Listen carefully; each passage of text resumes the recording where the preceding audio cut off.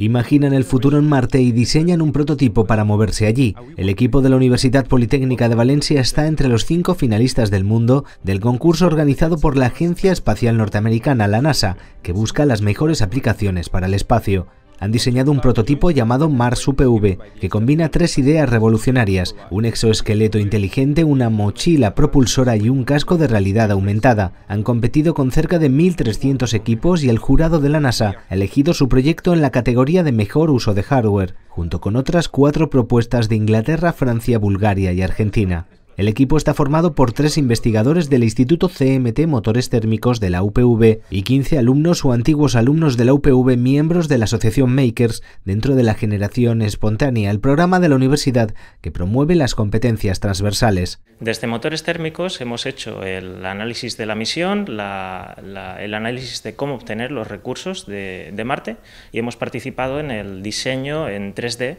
de todas las piezas que componen el exoesqueleto y el jetpack,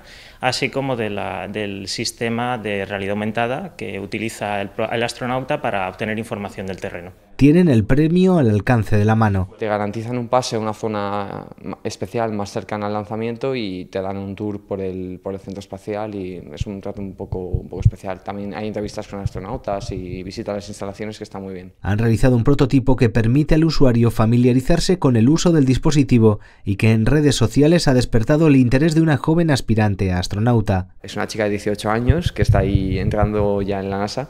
y se interesó por nosotros, empezó a preguntarnos sin parar, eh, revisó el proyecto. Quién sabe si será ella quien en un futuro utilice el dispositivo Mars UPV. Viable es, eh, una, gran parte del proyecto no era solo el, hacer un prototipo y poner en valor lo que hagas el fin de semana, sino que lleva detrás un estudio teórico y técnico importante que asegura la viabilidad técnica de la, de la propuesta. Hace dos años uno de los miembros de este equipo, Joan Carles Sebastián, ya tuvo la ocasión de visitar Cabo Cañaveral gracias al proyecto del casco Space Helmet UPV, que resultó ganador en su categoría.